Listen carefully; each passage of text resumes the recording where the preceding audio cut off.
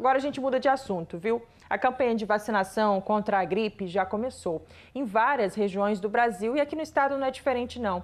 O objetivo do Ministério da Saúde é proteger a população antes do aumento da circulação do vírus influenza, que costuma ocorrer entre o período do outono e do inverno.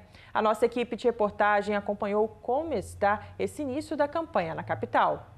A campanha de vacinação contra a gripe começou oficialmente na capital Vitória neste último sábado. Cerca de duas mil pessoas já receberam o imunizante.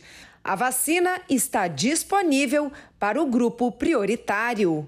São crianças de seis meses a menores de seis anos, trabalhadores da saúde, gestantes e puérperas, professores, idosos com 60 anos ou mais em situação de rua, segurança e salvamento, com doenças crônicas ou deficiência permanente, caminhoneiros, trabalhadores rodoviários, portuários e funcionários do sistema de privação de liberdade.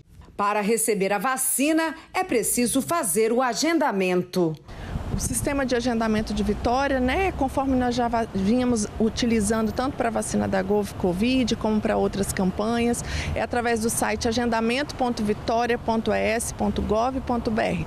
Lá vai ter duas, dois grupos, influenza, grupos prioritários e influenza idosos, crianças e gestantes. Então as pessoas podem ali, né, se autodeclararem e procurar as unidades. Importante trazerem os documentos que comprovem a sua condição. Por exemplo, se eu, se eu for professor, que eu possa trazer minha declaração de ser um professor de sala de aula. Se eu for um portuário, minha carteirinha de trabalho, né?